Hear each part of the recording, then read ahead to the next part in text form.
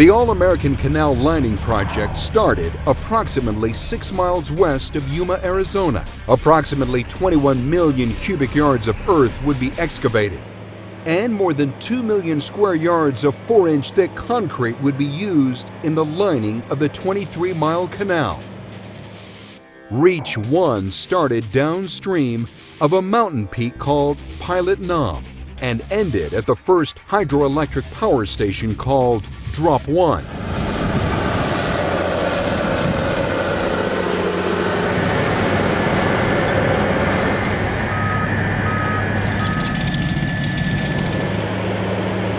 The actual process of lining the canal required heavy and complex machinery, but at some turns, construction crews employed a traditional building process, pouring, paving, and finishing by hand. Another engineering marvel involved the tie-ins. In order to control the flow of water during construction of the canal, construction crews used sheet piles to divert the water to enable construction of the tie-ins.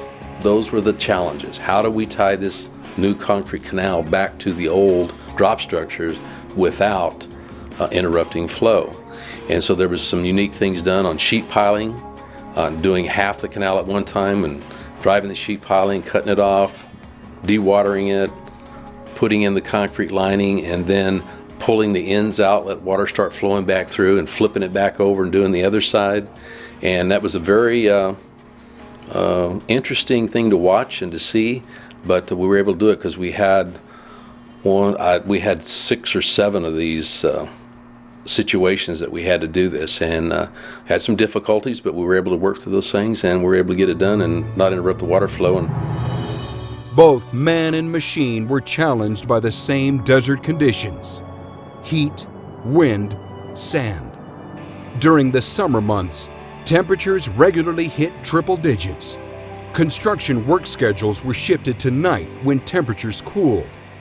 Chiller tanks provided cooled water for mixing concrete it was necessary to place the lining in the relative cool of the night, when temperatures came down into the reasonable mid 80 degrees Fahrenheit.